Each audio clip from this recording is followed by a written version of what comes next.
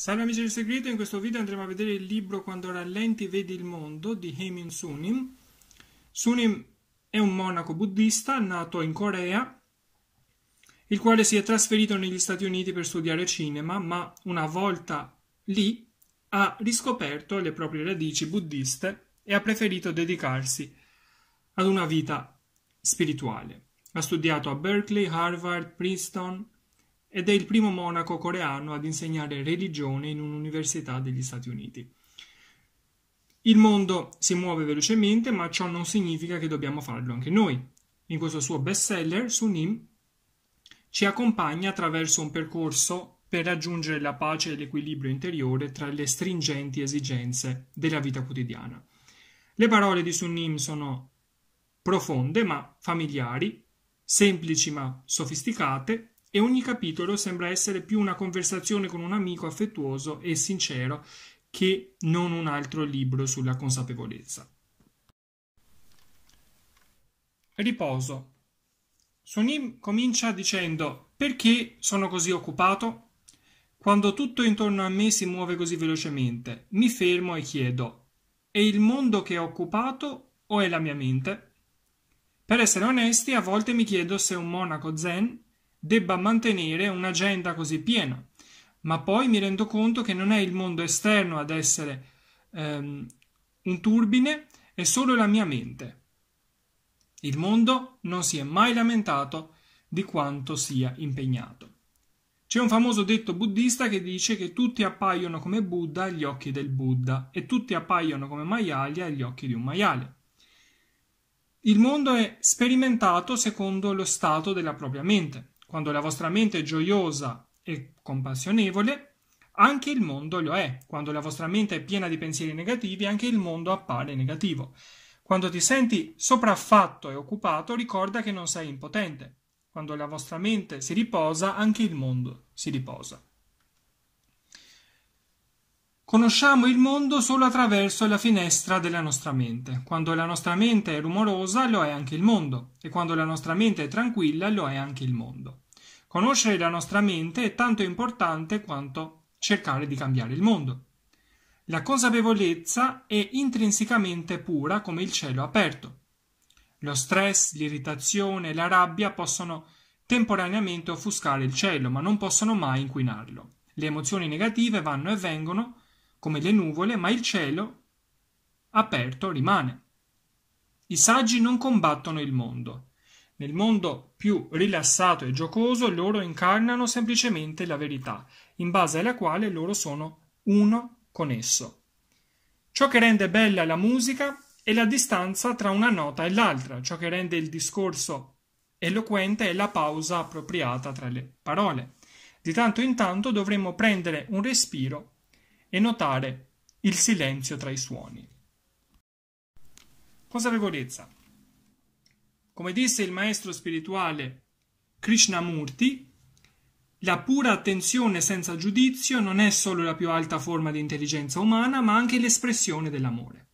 Sunima aggiunge: Se dovessi riassumere la totalità della vita della maggior parte delle persone in poche parole, sarebbe una resistenza senza fine a ciò che è. Mentre resistiamo, siamo in costante movimento cercando di essere giusti, eppure rimaniamo ancora infelici per ciò che siamo. Se dovessi riassumere la totalità della vita di un illuminato in poche parole, sarebbe la completa accettazione di ciò che è. Quando accettiamo ciò che è, la nostra mente è rilassata e chiara, mentre il mondo cambia rapidamente intorno a noi. Il monaco più venerato degli altri monaci non è quello che appare più santo, predica meglio, gestisce il tempo eh, meglio, predice più accuratamente il futuro, ha la capacità di curare le malattie. No, è colui che insegna attraverso le proprie azioni. La spiritualità deve essere praticata non solo in solitudine, ma anche tra la gente. Apriti alle persone intorno a te e sentiti connesso. Questa è la vera sfida della pratica spirituale. Se sei sincero nel raggiungere l'illuminazione, puoi imparare anche da un bambino o dalla persona che ti insulta per strada. Il mondo intero diventa il tuo insegnante. Anche quando siamo svegli, non siamo diversi da un sonnambulo. Facciamo cose senza la consapevolezza di farle. Solo perché i nostri occhi sono aperti non significa che siamo svegli. Avere consapevolezza della tua presenza, della tua esistenza, è un fattore essenziale per vivere la vita pienamente e percepire ogni evento nel modo opportuno. La vita è come il teatro, ti viene assegnato un ruolo. Se il ruolo non ti piace, tieni presente che hai il potere di ricreare il ruolo che vuoi. Abbiamo parlato spesso di questo aspetto analizzando i libri di Neville Goddard. Non dobbiamo per forza credere che la realtà che vediamo sia qualcosa di definitivo. Noi abbiamo il potere di cambiarla internamente decidendo di credere ad altro, di visualizzare e di immaginare internamente la realtà che vorremmo vedere, credere ciecamente in quella visione e andare là fuori ad agire per renderla realtà. Secondo il saggio studioso confuciano Yak Yong, il modo migliore per nascondere la propria ricchezza è quello di darla via. Se sei generoso con la tua ricchezza, il denaro che prima o poi sarebbe scomparso diventa un gioiello eterno, profondamente inciso nel cuore di chi lo riceve. Secondo alcuni psicologi, la felicità può essere valutata con due semplici domande. Perché la prima sarebbe trovi un significato nel tuo lavoro, quindi ha senso quello che fai per te, e hai buone relazioni con chi ti circonda? Per i praticanti spirituali le relazioni sono la prova finale anche se ti sei risvegliato alla tua natura illuminata, c'è ancora molta strada da fare nel tuo viaggio spirituale se non vivi armoniosamente con gli altri. Amore e vita. La verità è che siamo tutti ordinari. Non importa quanto uno sia famoso o bello, non importa quanti soldi o potere abbia, non importa quanti meravigliosi successi abbia avuto, abbiamo tutti la nostra parte di battute d'arresto e fallimenti dobbiamo affrontare sfide sulle quali non abbiamo alcun controllo. La solitudine e la paura della morte ci accompagneranno fino ai nostri ultimi giorni. Ci sono molte più ore ordinarie nella vita che straordinarie. Aspettiamo in fila il supermercato, passiamo ore a fare i pendolari al lavoro, innaffiamo le nostre piante e diamo da mangiare ai nostri animali domestici. Felicità significa trovare un momento di gioia in quelle ore ordinarie. Quando ci si concentra, anche un elenco telefonico può essere interessante. Se ti annoi, forse non ti stai concentrando. Il luogo in cui vivi ti modella. Vivi in un luogo che favorisce il perseguimento dei tuoi sogni? Più sai, più pensi di non sapere. Più non sai, più pensi di sapere. Quando ci aggrappiamo troppo fermamente alle nostre convinzioni, rischiamo di essere ciechi alla realtà e di vedere solo ciò che è conforme alle nostre convinzioni. Sunim aggiunge: La vita è come il jazz. Molto improvvisato, non possiamo controllare tutte le variabili, dobbiamo andare avanti con entusiasmo e destro, a prescindere da ciò che ci getta addosso. Mantenete i vostri pensieri positivi perché i vostri pensieri diventano le vostre parole. Mantieni le tue parole positive perché le tue parole diventano il tuo comportamento. Mantieni il tuo comportamento positivo perché il tuo comportamento diventa le tue abitudini. Mantieni le tue abitudini positive perché le tue abitudini diventano i tuoi valori. E mantieni i tuoi valori positivi perché i tuoi valori diventano il tuo destino. Futuro e spiritualità. Sunim aggiunge mio caro giovane amico, non scoraggiarti solo perché sei leggermente indietro. La vita non è una corsa di cento metri con i tuoi amici, ma una maratona di tutta la vita contro te stesso. Piuttosto che concentrarti sull'andare più avanti rispetto ai tuoi amici, cerca prima di tutto di scoprire il tuo colore unico.